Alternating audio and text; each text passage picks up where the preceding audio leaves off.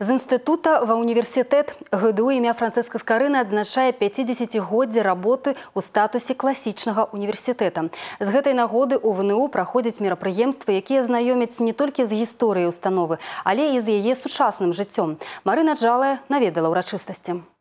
Старт мерапрыемстваў навукова-практычная канферэнцыя гомельскі дзяржаўны універсітэт імя францыска скарыны ад педагагічнага інстытута да класічнага універсітэта. Да 1969 года ў Беларусі быў толькі адзін універсітэт БДУ. Пераўтварэнне гомельскага педагагічнага інстытута імя Чкалава ва універсітэт паслужыла імпульсам для актыўнага развіцця вышэйшай навучальнай установы. Яна аказалася пад пільнай увагай навукоўцаў Савецкага Саюза. Цікавасць да новага статусу ВНУ і звязаных з гэтым навуковых магчымасцяў магчымасцяў накіроўвала сюды не толькі беларускіх даследчыкаў. Традыцыі міжнароднага супрацоўніцтва актыўна развіваюцца і зараз. Сёння ў ГДУ навучанне праходзіць на 13 факультэтах. Штогод адкрываюцца новыя спецыяльнасці. Сёлета ўпершыню пройдзе набор на эканамічную інфарматыку, бізнес-адміністрыраванне, трэнерскую работу. Усяго ва універсітэце вучыцца 10 тысяч студэнтаў з 16 краін. Мы были пединститутом. За эти годы мы открыли экономический факультет, открыли юридический факультет, факультет психологии и педагогики,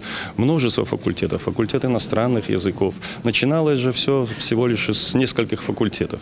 В те годы, когда был открыт университет, преподаватели, профессора приезжали из э, различных городов бывшего СССР. Я просто знаю, что были представители Москвы, Петербурга, Казани, Уфы, из э, различных городов.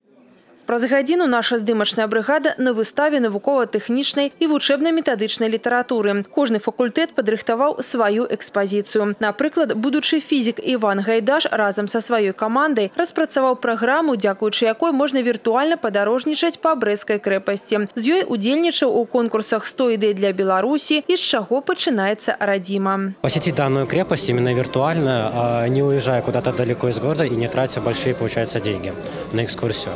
То есть данный проект дает большой спектр возможностей для изучения любых уголков Брестской крепости ну и вообще как развлечение, как материал для школьников, опять же. Завяршыліся сённяшнія ўрачыстасці вялікай канцэртнай праграмай, якую падрыхтавалі творчыя калектывы ГДУ.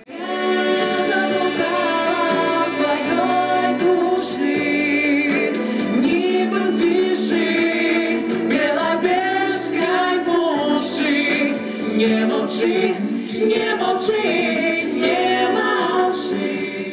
Заўтра мерапрыемствы працягнуцца. У ГДУ пройдзе пашыранае пасяджэнне Савета універсітэта з удзелам яго знакамітых выпускнікоў. Марына Джала, Ігор Марышченко, тэлерадыёкампанія «Гомель».